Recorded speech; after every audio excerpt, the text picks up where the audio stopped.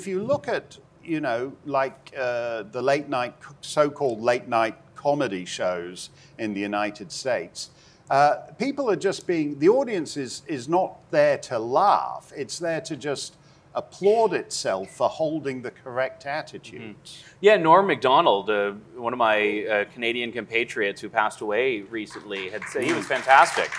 He had said in an interview not long before he died that the biggest problem with modern comedians is that they chase applause and not the laughs. Yeah. And and it's easy. I mean, you can just say the right thing and the audience will clap, but you've not actually engaged in anything creative. You've not said anything funny. You've not yeah. challenged anything. And that, that's the other thing. The idea that comedy, comedy, which used to be the way you could get away with challenging authority. And, and Bill Maher was always insufferable with this because every time he stepped a little bit too far, he'd be, oh, I'm just a comedian. Yeah. But now that doesn't help you. You, you Yeah, can't, yeah. you can't say I'm just a comedian because then you get uh, executed perhaps a few minutes earlier.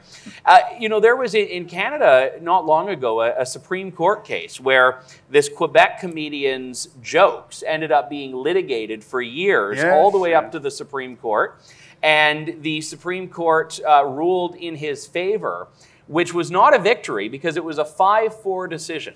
All right. So one judge stood in the way of do you have a right to tell offensive jokes? And, and it, was in, it was horrible how no one got the point because hmm. instead of talking about free speech, people said, well, that joke was a little mean. And that, that, but Yeah, that's yeah. the.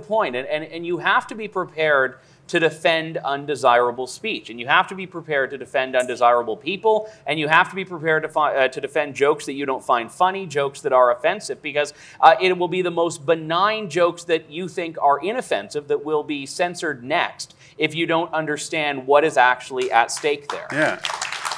Well, you you end you end up in a world with uh, no jokes whatsoever.